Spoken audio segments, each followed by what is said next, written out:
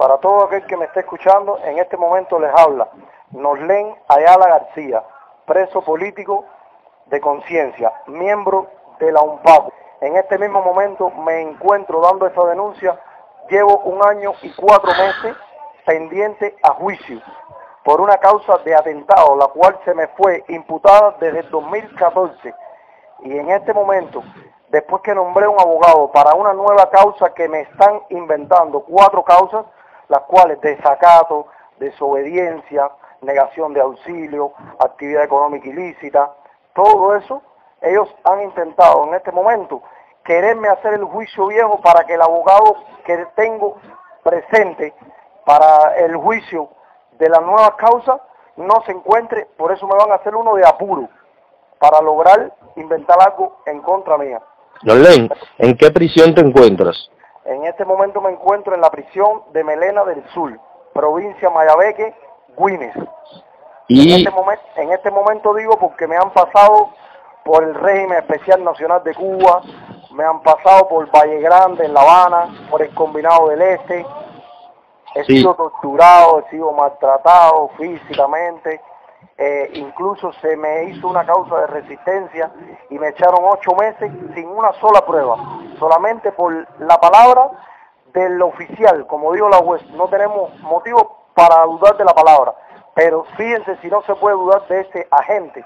que el cual me acusó y me echaron ocho meses por su palabra, se vio envuelto en una investigación de un asesinato de un ser humano en esta misma prisión hace un mes, solamente un mes. De hecho, ellos me llevaron a juicio y llevaron un testigo, el cual eh, habló siempre a favor mío y eso tampoco interesó, siendo su propio testigo. Sí, es válido aclarar que estos eh, delitos de los cuales eh, se te está acusando y se, y se te acusó ya y se te sancionó ocho meses en una oportunidad, forman parte de esa gama de delitos que usa la policía política para enmascarar el verdadero eh, motivo de la sanción o de la acusación que es tu activismo y tu negativa a, en este caso dentro de la prisión, a eh, eh, incluirte ¿no?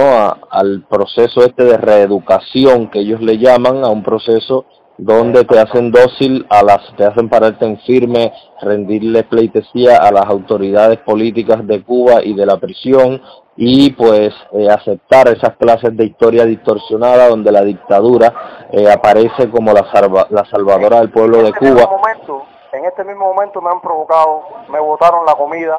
Yo llevo 12 días sin alimentarme en esta prisión debido a que yo no estoy yendo al comedor ni a desayunar ni a almorzar antes de, no, realmente es muy crítica la situación allí y todo lo que están haciendo con eh, hombres firmes y valientes como tú. Antes de entrar a prisión, ¿en qué te desempeñabas? Eh, es decir, ¿qué cargo ocupabas en la UNPACU? ¿En qué lugar? Eh, un activista de la UNPACU y el coordinador de una célula en la provincia de Mayabeque.